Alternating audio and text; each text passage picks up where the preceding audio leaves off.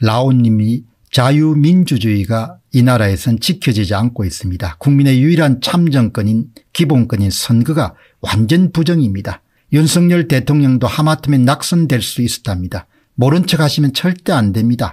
부정선거 막으려고 애쓴 공병호, 민경욱, 황교안, 박주현 등등 부방대 및 우파 유튜브의 고생을 절대 모른 척 하시면 안 됩니다. 우리나라에 미래가 없다는 말입니다. 이렇게 말씀을 하셨네요. 홍순철님은 부정선거는 묻혀지고 덮어질 수 있는 사안이 아닙니다. 그렇게 하면 은 윤석열의 앞날은 어렵습니다. 조금 더 기다려 보시기 바랍니다. 예, 뭐 윤석열 대통령이 뭐 100% 하지 않을 것이다.